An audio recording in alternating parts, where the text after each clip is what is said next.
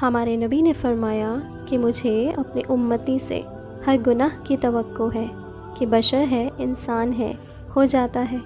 तो मैं अपनी उम्मती से हर कमी की तवक्को रखता हूँ, सिवाय दो के, कि सिवाय दो के अगर वो मेरा है, मुझसे कोई ताल्लुक़ है, एक, झूठ कभी नहीं बोलेगा, दूसरा, धोखा कभी नहीं देगा।